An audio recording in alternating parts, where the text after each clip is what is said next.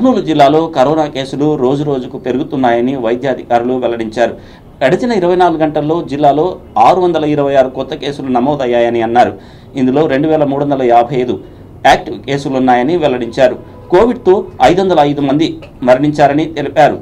అరవై నాలుగు వేల మూడు వందల ముప్పై తొమ్మిది మొత్తం కేసులుండగా చికిత్స పొంది అరవై ఒక్క వేల నాలుగు వందల డెబ్బై తొమ్మిది మంది డిశ్చార్జ్ అయ్యారని అధికారులు తెలిపారు.